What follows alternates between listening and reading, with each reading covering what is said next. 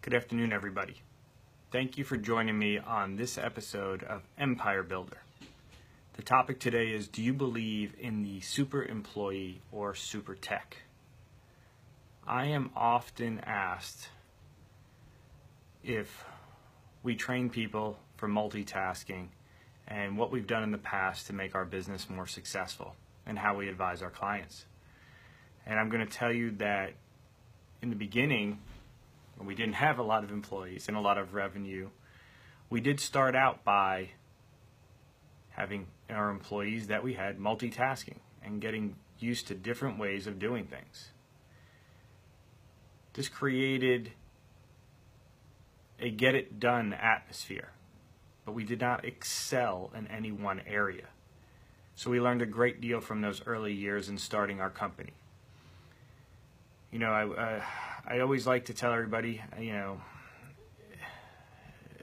it's so challenging in the beginning, right? Because you're trying to deal with protecting money, being smart about your investment, making sure you get things done with the least amount of people as possible.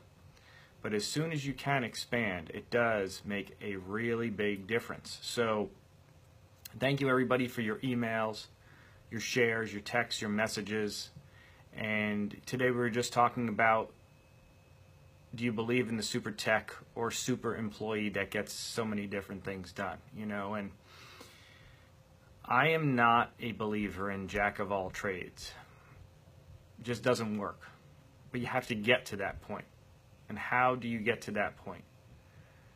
Well, you really have to hustle. You really have to be dedicated and focus and you really have to simplify what your goals are as a company so you can get to that point of expansion faster. And then when you get to that point, you could stop having people do 10 different things. And what we found immediately once we got to that point was our revenue in our departments, our performance started to turn around dramatically.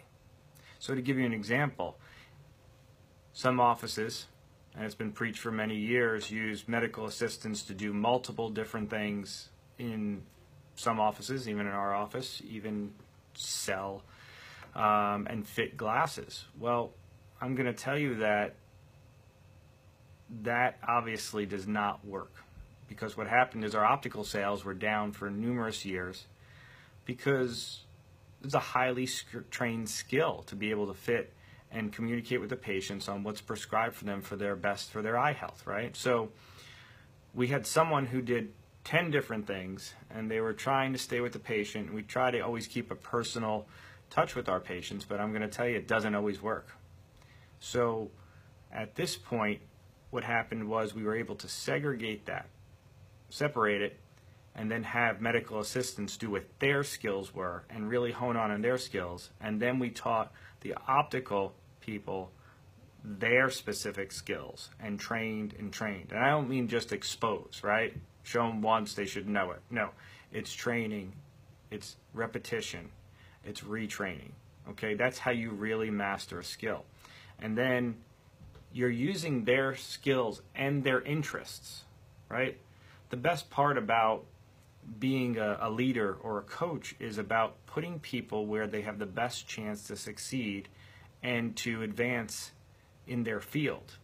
So, by using that as a judge, what happens is you figure out their skills, and there's lots of assessments out there, HR tests and so forth, that could help you figure out what their interests are.